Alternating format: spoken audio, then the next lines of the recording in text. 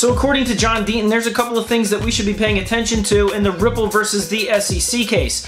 Number one, I'm going to tell you what his speculation is in terms of when this case could end, if it's going to end in summary judgment, if it's going to end in settlement, and the other thing that we should be keeping an eye on that is going to end well before the Ripple case that could have far-reaching implications for the rest of the cryptocurrency world. And as I'm making this video, a Bitcoin has surged up to $24,000 this morning. I'm going to tell you what some of the levels are that it just that it just used as support that is very important to the overall price and what it's up against in the next day or two. Also, Fortune magazine has named Ripple one of the better places to work for a medium-sized company. I'm going to tell you where they came in in terms of the top 100 companies best places to work. Also, the United States Treasury has added yet another cryptocurrency tool to their list of sanctioned things that United States citizens cannot interact with. I'm going to tell you what this one is and why it's so controversial. Hey everyone, my name is Randy and welcome back to the Late Night Grind. And right now on this channel, we are covering the Ripple versus the SEC case, as well as other cryptocurrency news, investment markets, and personal finance. So if any or all these topics interest you, make sure you hit that subscribe button, join the Late Night Grind community.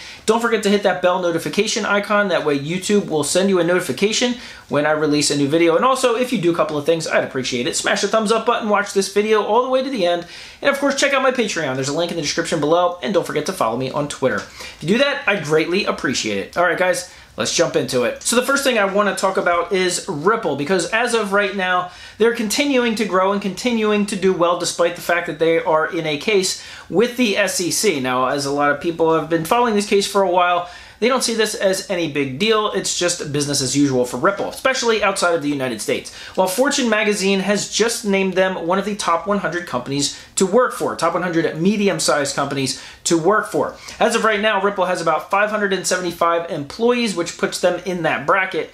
And as of today, they fall in at number 34 terms of the best 100 companies to work for. They actually dropped a spot from last year. They were one spot ahead of that. So, not sure what that means. Probably not a whole lot. But nonetheless, uh, Brad Garlinghouse, the CEO of Ripple, said it's great to see uh, that those kind of numbers come out. It's great to see that you have some kind of confirmation uh, that what you're doing as a company uh, and as a whole has kind of proliferated out the rest the, throughout the rest of the company, and that your employees are in fact happy to work there. And upon hearing that news, I saw some tweets that were actually tweeted out by Ripple that said hey, we're number 34 on the best 100 places to work.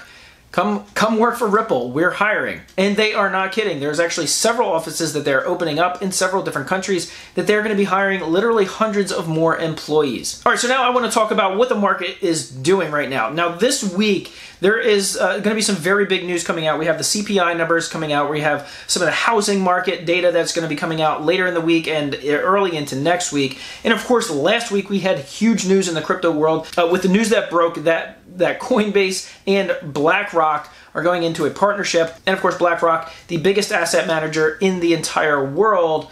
Well, there's uh, well, there's rampant speculation as to what they're going to be doing with Coinbase, how much of that assets they're going to actually going to be converting to Bitcoin for their extremely wealthy institutional clients, some of which are governments. So with all of that surrounding the price of Bitcoin, on Monday morning it jumped to about 24,000. Uh, it ramped up about seven to eight hundred dollars in very short order. And not only that, it actually did something that a lot of people were hoping it would do, and that was it bounced off of a number which was 22,800. Why is it an important number? Why? Because that was the 200 week moving average that Bitcoin has typically seen as a support level since uh, uh, literally for the for the past 10 years. Um, it has dipped below that, obviously, for the past month, but it recently climbed above it. And as it dipped back down to 22,800, it bounced off of it and now ro and rocketed back up to 24,000. So some important numbers to watch uh, because right now it looks like there is a very strong trend line, uh, a channel trend line that it's been uh, trading at for the past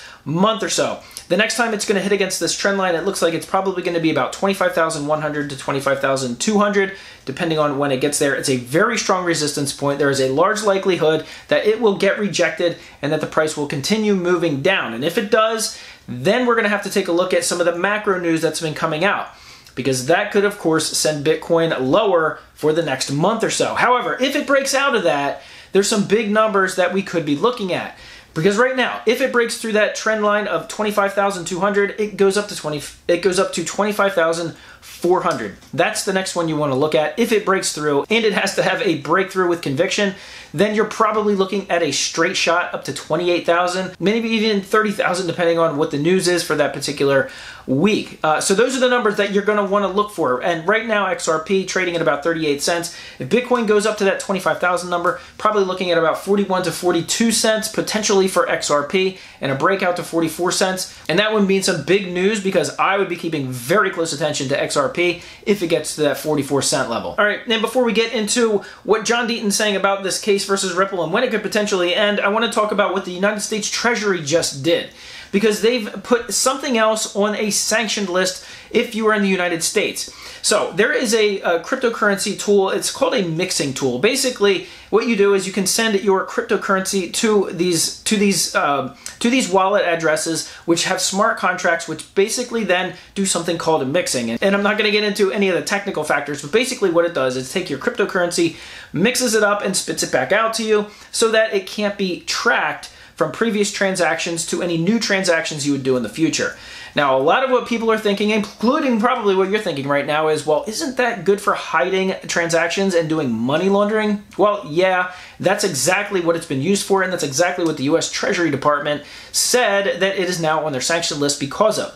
In their statement, they actually cited several different money laundering, uh, several different money laundering operations that have used this service in the past. Uh, upwards of several hundred million dollars was what it was uh, eventually tracked back to in terms of uh, in terms of illegal money laundering schemes that had used this service. So, of course, it says if you're a United States citizen, you can no longer use this service. Again, this service was called Tornado Cash. And some people say, well, yeah, this is a good thing. You shouldn't have to use things like this. Cryptocurrency was made to be transparent. You should see every transaction. So you shouldn't be able to hide anything. And of course, privacy advocates say the complete opposite and say, well, no, listen, if this is a sovereign asset, a sovereign form of currency, then I should have the right to privacy, and nobody should have a right to see what I'm doing with my money.